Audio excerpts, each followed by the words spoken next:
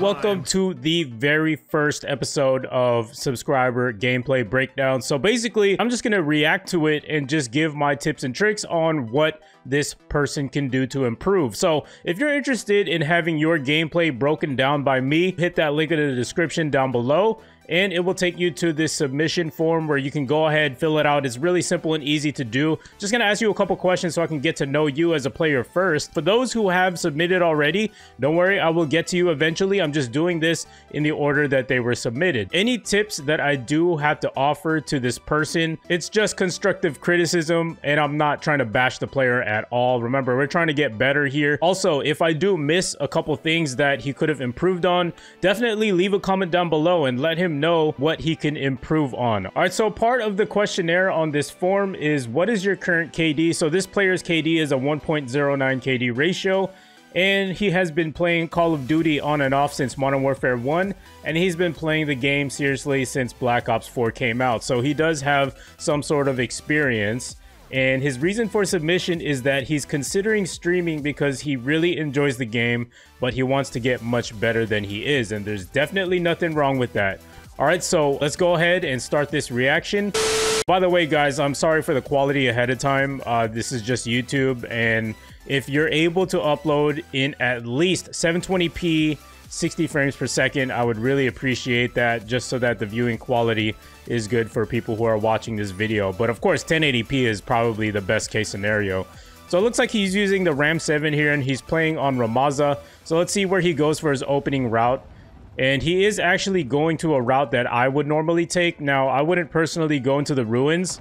I would actually rather get a head glitch. Now, he did die right there, and one thing off the bat that I would recommend if you are going to play on Rammaza is to actually go straight down towards this middle area right here, because number one, you get a really good clear view of the enemies coming in from their spawn and also you do have that head glitch as well that will protect your body. So that's why i'd recommend go up here first uh, versus just going in through this part of the ruins right here because you don't really get to see a lot compared to if you were to head glitch right there so that's pretty much the result of that and why i would recommend going up to that head glitch all right so it looks like he's gonna go back to that area he most likely probably wants to get a revenge kill now he does spot an enemy here, and I like how he's taking a bit of cover. You know, he's not just standing in the middle.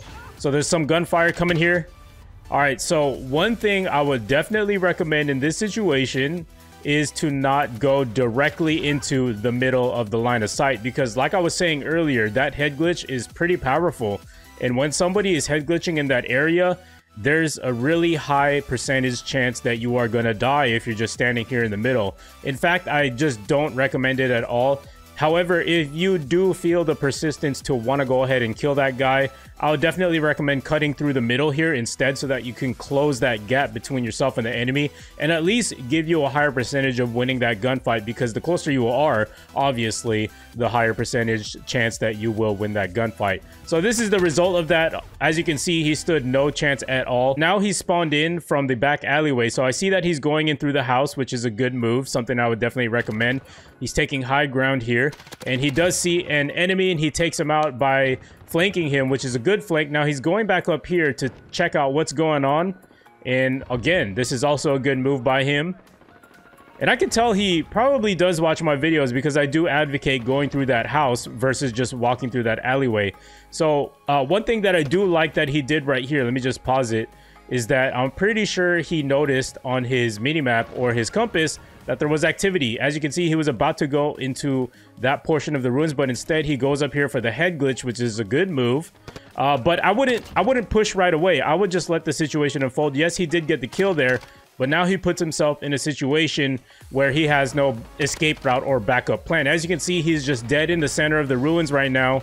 And it looks like he's pretty much in no man's land. You know, there was one enemy uh, to his left right here. And as you can see, there is another enemy here. So when you're in this particular area of the map and you're just all alone in general, it's always a good idea to position yourself in a way where you're able to escape that situation if you need to. So if I was him, I would have probably stayed at that head glitch for a little bit and then retreated and then went up to the cafe because I know for a fact that they're coming in from their spawn right here. And like I said earlier, having a clear view of where the enemies are is essential and it's a power position. So going up to the market rooftop right above the cafe and looking through that window would definitely be a good example of where he should have positioned himself instead of just going for the kills here. Because as you can see, there really is no place to go. He's standing in the middle and as a result, he did die right there. So always think about those things when you're playing the game is, you know, am I in a good position right now to escape the situation should I be in a tight situation? So he does pick up a free kill there after he came in from a spawn. So now he's back in the ruins area. He's picking off these guys. And uh, like I said earlier in the beginning of the game, this is a really good head glitch. It's easy to get kills from that area. So now if I were him, I would move up to the top of the rooftop like I was saying before. And Another thing about that situation, why he got taken out so quickly, is because he stayed in the same spot for way too long. Now, that's why my videos, I always stress every time you get a kill, make sure you move from location to location. So right here, it looks like uh, he's dealing with another enemy. Unfortunately, I believe it was the C4 that killed him. So let's play that back.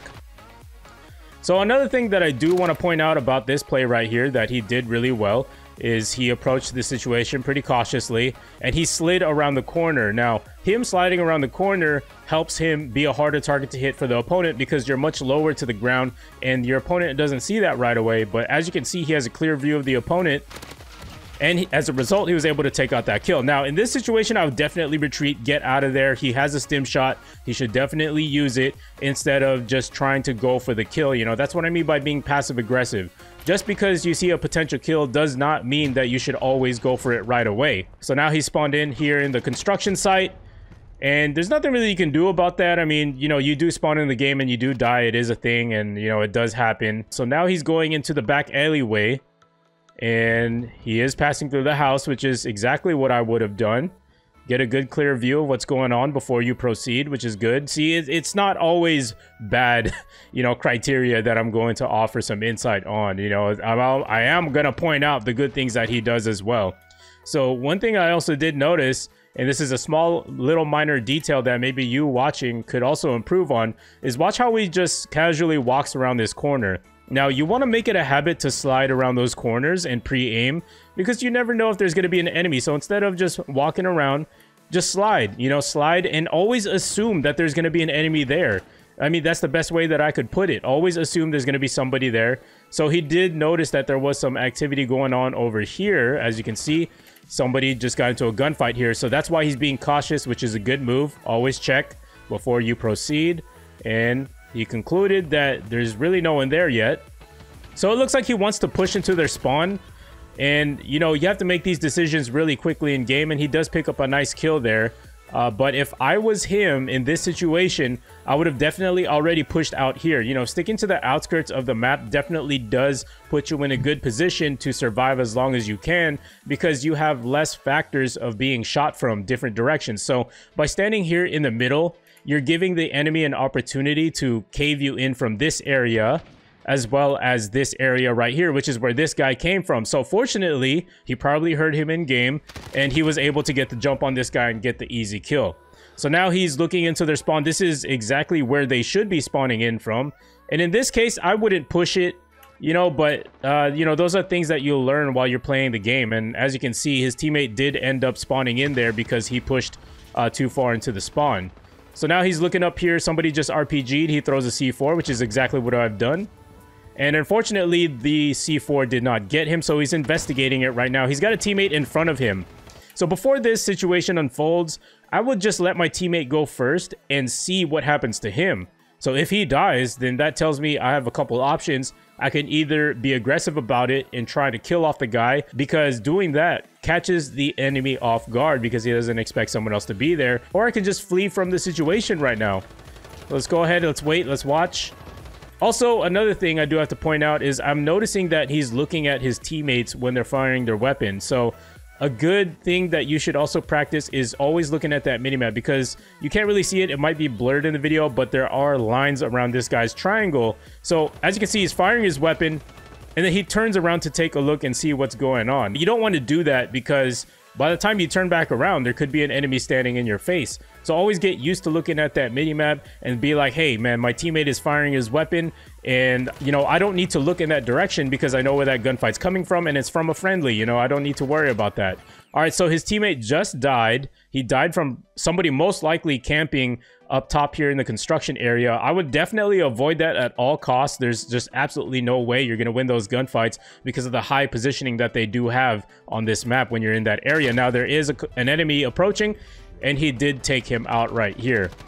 So I'm 100% sure that his teammate died to somebody camping in the construction site. Now, there was another enemy there that he didn't know was there. As you can see, look, if you pause it right here, his teammate is engaging in a gunfight with somebody who's camping all the way up there in the construction site. And then the enemy also had another teammate that was going after this guy, but also came up on him as well. So that's why I would just approach the situation cautiously, either, you know, see what's going on. Don't run in there right away you know, pre-aim first before going into there. So I wouldn't go back to this area, to be honest, because I know I'm going to be outnumbered. So as he approaches these stairs, if you pause it, there are two enemies that just died in this area. They're being mowed down. I would just forget about the situation. I would go around to the other side of the map and just flank or find a different situation where I can win a gunfight and gain some momentum and eventually make my way to the back of the construction site and flanking these guys here because these guys are like, okay, man, these are free kills. So we're just going to keep mowing down these people as they walk through this line of sight. So they're pretty much distracted at this point. So if you took the time to go around and flank, take the long way, you would have been able to get those double kills. So uh, let's play it back here. So his teammate died again. That's another indication. And you don't always want to hold on to your C4 like that as well while you're walking because you're putting yourself on a vulnerability to get shot and you're not giving your chance to engage in a gunfight. Now he hears some footsteps down here. I I wouldn't go for this kill. Alright, so he does get a good double kill out of it, but the reason why I suggest not to do this is because if you look at the minimap, your teammates are pretty much in line with you or behind you, and they're all facing this direction, which in theory would say that the enemies are spawning in from this end of the map. So if we play it back, right, he hears those footsteps, he goes for it right away. But see, what happens here is that when you jump down here, there could be enemies in the construction site or coming in from their spawn that will shoot you from behind. I'm not saying he got lucky at all or this was a bad choice to make because he did get a double kill out of it, but I'm saying at least like maybe nine times out of 10, you might be shot in the back. And it's always best to be better safe than sorry, you know. That's something that you need to practice when you're playing this game, you know, don't always go for those kills just because you hear somebody's footsteps. You know, you always have to assess the situation and the scene that you're in right now. You know, if I'm going to jump down this building, would I get shot from behind? Is that a possibility? All right, so uh, he throws a C4 out here because he got a hit marker on someone, which is a good move. That's definitely what I would do just to make sure. I'll definitely move up to the top of this house now. A teammate just got taken out downstairs. And I'm pretty positive that it was the guy that he just killed, so that's good. He's It looks like he's gaining some momentum here. He's pre-aiming. I would definitely close this door and go back upstairs so that if they want to proceed underneath just like that, then I would be able to hear the audio cues and uh, alert my attention to go downstairs. All right, so an enemy just spawned out. Another free kill, which is nice. It looks like he's going to go back to that spot. Picks up another free kill on his way back to the house. Uh, and again, he's uh, shooting at an enemy because he probably heard his footsteps, which is fine. You know, if, if you're generally a casual player, you know, that's something that's quite common, actually, you know. You, you just have to play this game enough to understand the differences between uh, what's your enemy footsteps and what is a friendly footstep. That's why I go back to talking about looking at your minimap all the time, because if you heard those footsteps and you saw an, uh, and you saw a teammate on your minimap behind you, then that would lead to, okay, well, that's most likely a teammate. I don't need to look behind me. Looks like he just keeps going back to this house here. I would definitely switch up my strategy. Maybe go through the construction site. You've got some teammates there. It's obviously safe. He picks up another kill there who just killed his teammate. And again, yeah, this area is a hot spot right now. So I would definitely recommend going through the construction site, going around through the barbershop, in through the ruins, and flanking them through there. Or just take a shortcut through the market rooftop and uh, cut in through the ruins. So he's ducking here. Good job for throwing the C4. Now he's outnumbered here. Now, even if he did have the high ground, the colors in this game make it a little bit more difficult to see where enemies are coming from. And in that particular head glitch, it's really hard to see enemies. Now, there is somebody who just dropped down here. He goes back into the uh, back alleyway into that house, gets a nice kill. So I'm looking at where his teammates are on the minimap right now. If I was him, I would definitely just chill in this house for a little bit, let the enemies come out of their spawn so I can pick them off easily. So let's see if he does that. So he's taking a peek. He's looking at his teammate where he's going. So he's filling in those lanes correctly so far throughout the video from what I've seen. He's pre-aiming into the construction site where the enemies could possibly be based on the positioning of his teammates. So he's looking cautiously. Okay, good. So that's the end of the match. So he got 16 kills, which is not bad, man. Those 16 kills went by really fast. His team got the victory. And not too bad, man. Any final thoughts that I have would be to just be mindful of your movement take a look at that mini map and associate it with the sounds that you hear in game and also how he moves around those corners definitely get used to pre-aiming around every corner. Always assume that there's an enemy there. And also if you die in the same spot multiple times just leave it alone you know find a different route to take and you might come up on an enemy who's by himself by flanking and then eventually you'll make your way back to those people who were farming those kills on you and your teammates. So yeah guys i would really like it if you guys would leave some comments down below. Let him know what he could personally work on in case i didn't touch up on some things that i may have missed. Make sure to leave a like on this video so that i know that you guys want to keep seeing this kind of content where i break down your guys' gameplay. And i will try my best to post these every week so that you guys don't have to wait too long. So yeah guys make sure you subscribe if you're new around here so you can make your your way back to the channel. Join Turbo Nation today.